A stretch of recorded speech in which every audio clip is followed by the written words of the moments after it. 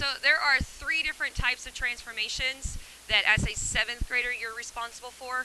When you get into eighth grade, you talk about a fourth one called dilations, which we have actually kind of talked about, but you're not going to be required to actually do it on a shape.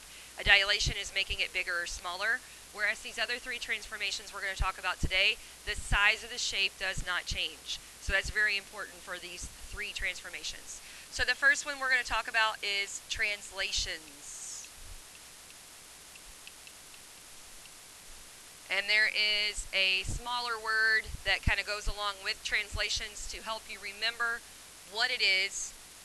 The SL in translations help you remember. Some people might already be thinking it, and in the word is slide. Okay? You're sliding the shape. So you are moving it up, down, left, or right. Okay? Any combination of those. And if it's on a coordinate plane, it'll tell you how many units in whichever direction that you need to slide your shape. And that's the transformation that we're going to focus on doing today, actually. Another transformation is a reflection. So just like translation, there's a word that kind of goes along with it to help you remember. The FL in reflection helps you remember the word, and it is flip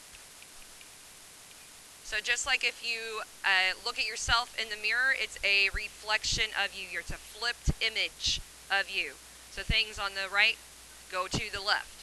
When you reflect a shape, which is what we're going to be doing tomorrow, we're going to be flipping the shape over the x-axis or flipping it over the y-axis. Okay, so again, we'll, we'll focus on doing that tomorrow. And then the third one that um, you need to know is a rotation. And rotation, think about turning. So you can turn 90 degrees, 180 degrees, 270 degrees. If you go to 360, then you're right back to where you started. None of these transformations, the size stays the same of the shape. Shape stays same size. And that part's really important. They always try to um, I've seen like where they try to give seventh graders a really tricky problem and they're like, this shape has been reflected across the y-axis and translated up three units and right two units. What is the new area of the shape? Well, it's the same area. Okay, so even if the shape looks completely different because it's been transformed in these ways, it's still the same area. It's still the same perimeter. Everything about it size-wise is the same. Okay? All right, so now we're going to focus on actually doing our translations. Did you? Okay, so this is an example of a translation. Unfortunately, my graph paper didn't show up, so I made some other examples. Um, but I wanted to still show you this one. You can see, obviously, this is a triangle that is translated. And do you notice how this one is ABC, but that one is ABC and it has like a little apostrophe next to it? Do you see these little things here? Okay, those are called prime. A prime, B prime, C prime. So what that indicates is that's the new shape. So this is the starting shape, and this is the new shape, okay, where, where it went to. So even though we can't really count the boxes on this coordinate plane, we can see that we moved up and right. Do you see that? Up and right. It's translated up and right. Um, on this one, again, it's really important to recognize which one is your starting shape and which one is your new shape this one is our starting shape over here. So which directions did this translate? Left, down, or down and left. It doesn't really matter which way you go first, okay? So unlike slope or anything like that, it doesn't matter which way you go first. You can go left and down, or you can go down and left. Doesn't matter. All right, so in this one here, I actually want to translate this one. The directions are over there, the rule, up four and right five. So when you do this, so this is going to be similar to what you're going to do on IXL. They're going to give you a shape and they're going to tell you where they want you to move it. So I'm just going to start with one of my points. I'm going to count up four boxes. And then I'm going to count right five boxes. And I'm going to put a point. And on IXL, you won't have to label it, but up here I am going to label it. So I'm going to label that A prime, because this was the original A. And then I'm going to do the exact same thing for B. Starting at B, I'm going to go up 4 and right 5. and I'm going to label that B prime. C, up 4. Right 5. C prime. And then D, up 4. Right 5. And then on IXL, what's nice about it is it'll kind of draw your shape automatically for you. But there it is right there. Okay, so your shape really should mimic the shape that was made. And it's not just about trying to copy the size of the shape. It really is just taking each point individually and counting the directions for each point. Does that make sense? Yes? Maybe? Kinda?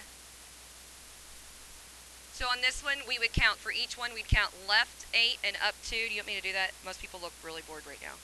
Like you totally get this. Yeah, it's not, trans translations are not the hard ones. So what would be the rule in this one? This is a crazy looking shape, by the way. It's not a polygon, but it still follows the translation rules. First of all, what are the two directions? Good. So noticing first that this one is your starting shape and that this one is your new shape, and you do that by, by the little apostrophes there. So you would need to go right and down or down and right, doesn't matter which one. Does it matter which point I look at to, to count? No. I could pick any one of these four points and go to the corresponding point, and it would be the same amount of boxes. Okay? I'm just going to start with A.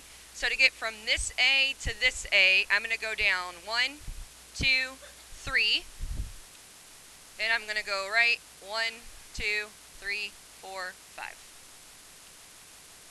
And that's it. Okay? So finding those rules, is that easy enough? Yes? Um, this one, how would you find the area of a triangle?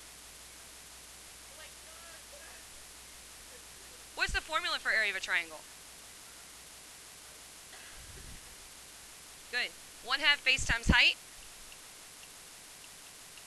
Now the base and the height have to make a right angle, so there's our right angle here. So how, how large is this side? 3. How large is this side? 5. So half of 3 times 5. Half of 15. What's half of 15? 7.5 uh, units squared. Now, if I were to translate this down and left, down 5 and left 3, which again, I won't bore you with doing, but what is the area of the new triangle, it would be exactly the same. Okay? All right, so I'll go ahead and give you the rest of the time to work then. Here are your two IXL assignments. They are different from each other, like they're both about translations. Some of them you're, you're translating an actual shape. Other ones you're translating just a point. Okay? 70% on both of them Keep in mind that even though you, you get to 70%, you don't get a 70% in Power School. You would get 100% in Power School for getting up to level 70. Does that make sense?